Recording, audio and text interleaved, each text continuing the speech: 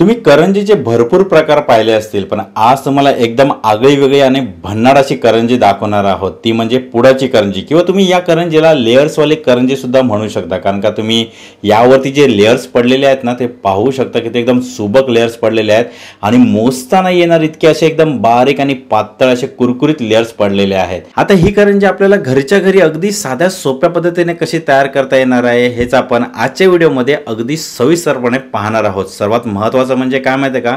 ही करंजी आहे ना खायला कुरकुरीत तर लागतेच पण त्याहून महत्त्वाचं म्हणजे स्वादिष्ट सुद्धा लागते. नमस्कार मित्रांनो मी आणि माझ्या आई तुम्हा सर्वांचं आजच्या रेसिपीमध्ये खूप मनापासून स्वागत करीत आहोत. आजची रेसिपी आहे पुडाची करंजी. आणि तुम्ही पाहतात आपला घरचा स्वाद.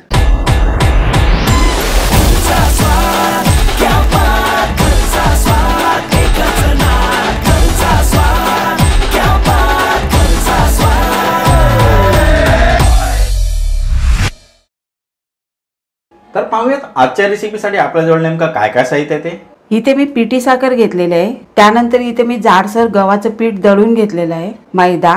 इथे मी बेसन घेतलेलं आहे आणि ते सुद्धा मी जाडसर दळून घेतलेलं आहे. त्यानंतर इथे मी खोबऱ्याचा किस घेतलेला आहे. त्याचा पाठचा काळा भाग ना मी काढून टाकलेला आहे. त्यानंतर इथे बदामाचे काप करून घेतलेले आहेत. साजूक तूप पिस्त्याचे काप चारोली. इथे मी जायफळ घेतलेला आहे आणि ही वेलची पावडर. तुम्हाला या सर्व साहित्यांचे प्रमाण आपल्या डिस्क्रिप्शन बॉक्समध्ये पाहायला मिळेल आता पटकन आपण कृतीला सुरुवात करूया. आता सर्वात पहिल्यांदा आपण करंजीचं सारण तयार करून घेणार आहोत. तर इथे मी कढई स्लो गॅसवरती तापून घेतलेले आहे. तर यामध्ये ना आपण खोबऱ्याचा केस घालूया. आता हे खोबरं आपल्याला सोनेरी रंगावर परतून घ्यायचं आहे.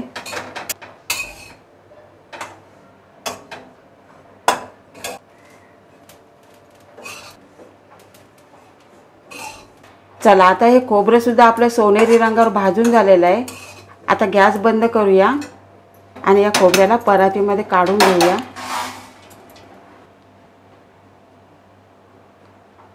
चला आता आपल्याला सुका मेवा भाजायचा आहे.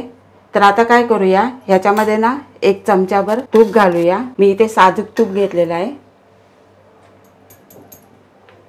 आणि स्लो गॅसवरतीच आपल्याला भाजून घ्यायचं आहे. बदामाचे काप चारोली पिस्त्याचे काप तर आता हे परतून घेऊया आपण. ड्रायफ्रुट्स मस्तपैकी साजूक तुपामध्ये भाजले ना तर त्याचा एकदम मस्तपैकी असा छान असा कुरकुरीत नटी फ्लेवर उतरतो. त्याच्यामुळे ही जी करंजी आहे ती खायला एकदम भारी लागणार आहे. हो की नाही? हो. चला आता हे भाजून झालेलं आहे. हे आता आपण काढून घेऊया.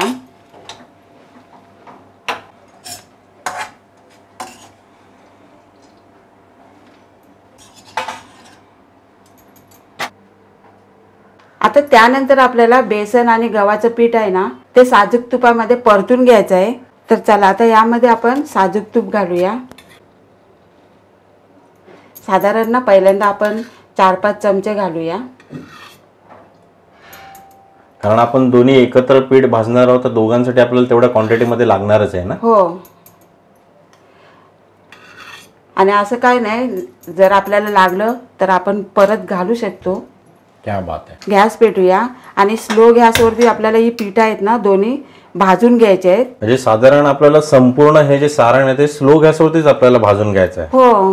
कारण जरा पण आपण मीडियम किंवा त्याच्यापेक्षा थोडासा फास्ट जरी गॅस केला तर करपू शकतं ना. हो. आणि त्याने आपली पूर्ण जी काही स्टफिंगची जी चव आहे ती थोडीशी चेंज होऊ शकते किंवा कडवट होऊ शकते. तर तसं काही आपल्याला इथे करायचं नाही. त्याच्यामुळे या ज्या काही बारीक सारीक टिप्स आहे ना मित्रांनो या नेहमी लक्षात ठेवा. चला आता हे बेसन आहे ना ते दोन मिनटं साधारण आपण परतून घेतलेलं आहे. तर आता काय करूया हे गव्हाचं पीठ आहे ना ते घालूया. हे सुद्धा आपण परतून घेऊया आणि चांगलं भाजून घ्यायचं आपल्याला. आणि मला सांग जर इथे आपल्याला गव्हाचं पीठ नसेल वापरायचं तर या जागी आपल्याला दुसरं काही वापरता येईल? हो बारीक रवा आहे ना तो सुद्धा आपल्याला वापरता येतो. क्या बात आहे.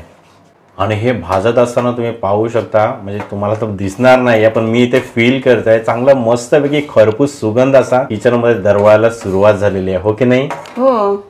ही बघा आपली दोन्ही पिठं आहेत ना ती चांगली भाजून झालेली आहेत. आणि दोन्ही पिठं आहेत ना ती बारीक गॅसवरती मी दहा मिनिटं भाजून घेतलेली आहेत. चला आता गॅस बंद करूया. आणि हे पीठ आहे ना ते आपण परातीमध्ये काढून घेऊया.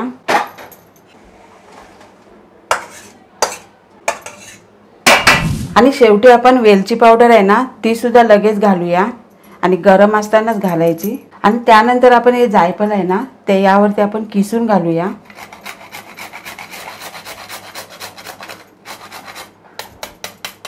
तर चला आता हे सारण आहे ना ते एकजीव करून घेऊया चांगलं. आणि एक गोष्ट लक्षात ठेवायची आहे ह्यामध्ये आपल्याला लगेच पिठी साखर नाही घालायची आहे. गरम असताना घातली ना तर काय होईल? याचा दगड बनून जाईल. हो कारण का ती पिठी साखर थोडीशी विरघळायला सुरुवात होऊन जाईल ना? हो. तर मित्रांनो ही एक आहे ना इम्पॉर्टंट टिप आहे. कारण बऱ्याच वेळेला काय होतं आपण छोट्या छोट्या ज्या टिप्स आहेत ना त्या इग्नोर करतो आणि ती छोटीशी चूक आपली खूप मागामध्ये पडू शकते. तर त्याच्यामुळे असं काही करू नका. सगळ्या ज्या काही या व्हिडिओमध्ये तुम्हाला टिप्स दिलेल्या आहेत ह्या सगळ्याच इम्पॉर्टंट आहेत. तर त्याच्यामुळे कोणतेही आपल्याला इथे गडबड करायचे नाही कारण का एक जरी चूक आपण इथे केली तर पूर्ण तो पदार्थ आहे तो तो बिघडू शकतो. हो की नाही? हो.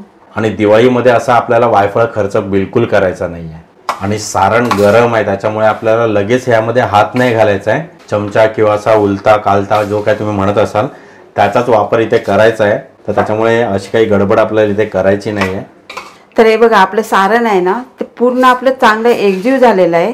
तर आता काय करायचं आहे हे पूर्ण ना आपल्याला थंड करून घ्यायचं आहे. त्यानंतरच आपल्याला साखर घालायची आहे. त्याशिवाय आपल्याला साखर नाही घालायची आहे. आता पाहू शकता हे आपलं सारण आहे ना ते पूर्णपणे थंड झालेलं आहे. आता काय करूया याच्यामध्ये ना ही पिठी साखर आहे ती घालूया.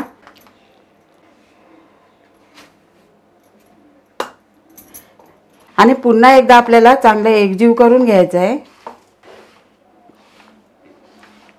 आणि साखर घालताना तुमच्या आवडीप्रमाणे घाला जास्त गोड पाहिजे असेल तर जास्त साखर घाला कमी घालायची असेल तर कमी सुद्धा घालू शकता. हे बघा सारण आहे ना ते एकदम मस्तपैकी झालेलं आहे. चला आता त्यानंतर आपल्याला हा मैदा आहे ना तो मळून घ्यायचा आहे. पण त्या अगोदर आपल्याला काय करायचं आहे हे तूप आहे ना ते वितळून घ्यायचं आहे. हे बघा जास्त काय आपल्याला तूप गरम नाही करून घ्यायचं आहे म्हणजे कडकडीत नाही करून घ्यायचं आहे. थोडंसं वितळून घेतलेलं आहे मी. आता या परातीमध्ये आपण मैदा घालूया. आणि हो मैदाना चालून घ्यायचं आहे. मी चालून घेतलेला आहे. त्यानंतर यामध्ये मीठ घालूया.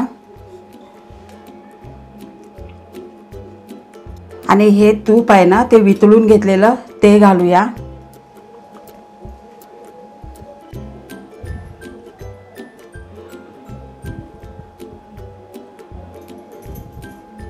आता हे पीठ आहे ना ते तुपामध्ये चांगलं एकजीव करून घ्यायचं आहे आपल्याला.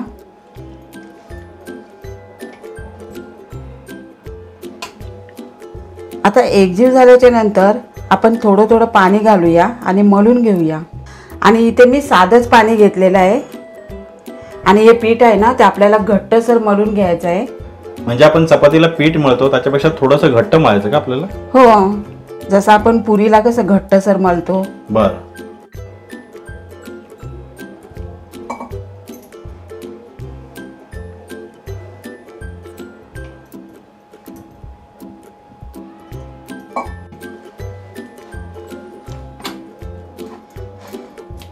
हे बघा आपलं पीठ आहे ना ते चांगलं मलून झालेलं आहे. नाही बघा असं घट्ट झालं पाहिजे. आता काय करूया या पिठाला ना पंधरा मिनिटासाठी आपण मुरवत ठेवूया.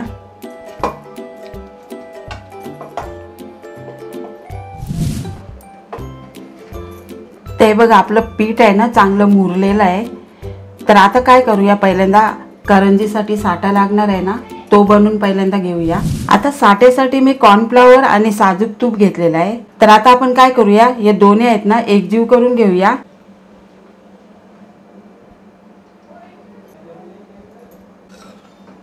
आता हे आपल्याला दोन्ही एकजीव करून फेटून सुद्धा घ्यायचं आहे. हे बघा आपलं साठं आहे ना चांगलं फेटून झालेलं आहे. आणि असं ना क्रीम सारखं झालं पाहिजे. आणि पातळ सुद्धा नाही केलं पाहिजे. थोडेसे घट्ट झालं पाहिजे.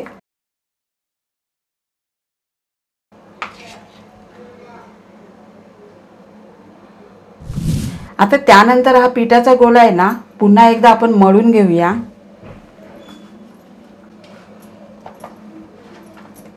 आणि आता मळून झाल्याच्यानंतर आपल्याला या पिठाचे आहेत ना पाच गोळे तयार करून घ्यायचे आहेत.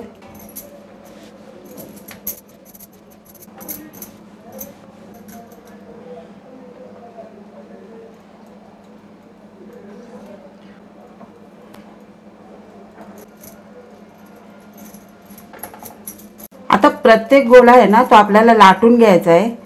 तर हे बघा मी असे गोळे तयार करून घेतलेले आहेत. तर आता काय करायचं आहे? हा मी मैदा घेतलेला आहे. ह्या मैद्यामध्ये आपल्याला गोळा आहे ना तो घोलून घ्यायचा आहे.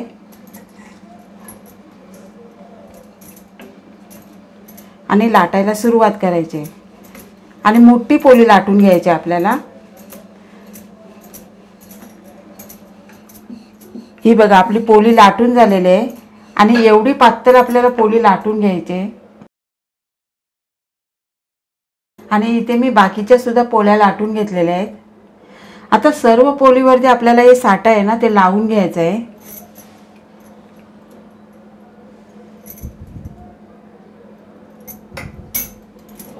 आणि साठं लावताना ना आपल्याला जास्त जाड नाही लावून घ्यायचं आहे पातळ पातळ लावून घ्यायचं आहे तर हे बघा आपल्या पोलीला साठं लावून झालेलं आहे.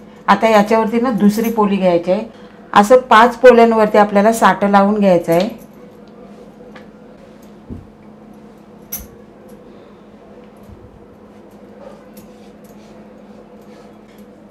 ह्या बघा आपल्या चारही पोल्यांना ना साठं लावून झालेलं आहे. आता ही शेवटची पाचवी पोले आहे. ती आपल्याला वर ठेवायची आहे.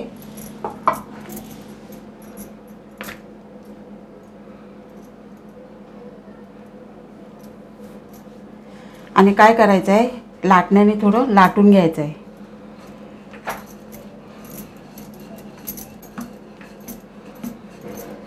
आता लाटून झाल्याच्यानंतर या पोलीवरती सुद्धा साठं लावून घ्यायचं आहे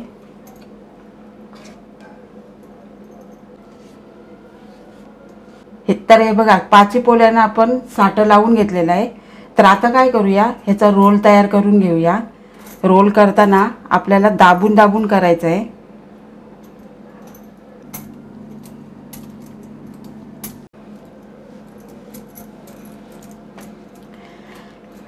आता हा झाला रोल. आता काय करायचं आहे ह्याला लांब करून घ्यायचा आपल्याला. म्हणजे दोन्ही बाजूने असं खेचत जायचं ना त्याला? हो. हा बघा आपला रोल आहे ना तो मस्तपैकी लांब झालेला आहे. आता त्यानंतर आपल्याला याच्या वड्या तयार करून घ्यायच्या आहेत. आता हा पुढचा भाग आहे ना तो आपल्याला काढून घ्यायचा आहे. तर ह्या बघा आपल्या सर्व वड्या तयार झालेल्या आहेत. आणि हे बघा लेअर किती सुंदर आलेले आहेत.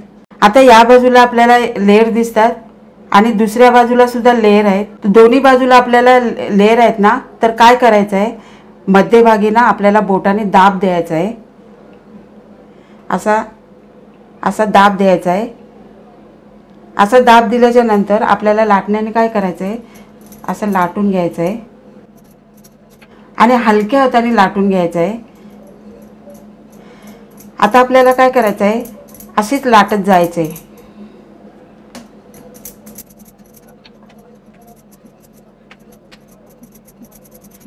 मध्यभाग आहे ना तो आपल्याला पातळ करून घ्यायचा आहे. आणि हा किनारीचा भाग आहे ना दोन्हीकडचा तो आपल्याला थोडा जाडसर ठेवायचा आहे. तर ही बघा अशी पोळी लाटून घ्यायची आहे आपल्याला. यामध्ये ना आपल्याला सारण भरायचं आहे.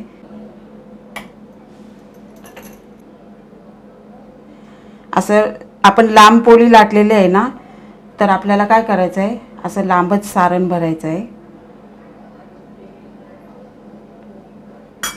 आणि सारण भरताना ना कोणतीही कंजूसी नाही करायची. आहे तर काय होतं बऱ्याच वेळेला ते फक्त पीठ पीठ लागतं आणि मग आपलं जे स्टफिंग आहे ते खूप कमी लागतं. त्याच्यामुळे खायला सुद्धा मजा येत नाही. सारण कसं एकदम भरभरून असलं ना तर खायला सुद्धा करंजी तितकीच मजा देते ना? हो. तर हे बघा आपलं सारण भरून झाले ह्याच्या मध्यभागी ना आपल्याला पाणी लावून घ्यायचं आहे पाणी किंवा दूध सुद्धा लावू शकता. त्यानंतर आपल्याला काय करायचं आहे ही बाजू आहे ना अशी उचलून घ्यायचे आणि ही सुद्धा उचलून घ्यायचे आणि दाबत जायचं आहे ही किनार आहे ना ते आपल्याला बंद करून घ्यायचे आणि व्यवस्थित बंद करून घ्यायच्या कारण का तेलामध्ये किंवा आपण तुपामध्ये तळणार आहोत तिला त्यानंतर तळताना त्यातलं आतलं स्टफिंग ते बाहेर न निघायला पाहिजे हो की नाही? हो. पुन्हा अशी ना दाबून घ्यायची. हा बघा असा दाब द्यायचा आहे. म्हणजे ही सुटणार नाही. आपण मध्येच भागी पाणी लावलेलं आहे. ही बाजू आहे ना ती लेअरची आहे. म्हणजे इथून आपलं जे काय लेअर फुटतील ते या बाजूने फुटतील ना? हो. क्या बात आहे जरा दाखव बघू तिला उभी करून.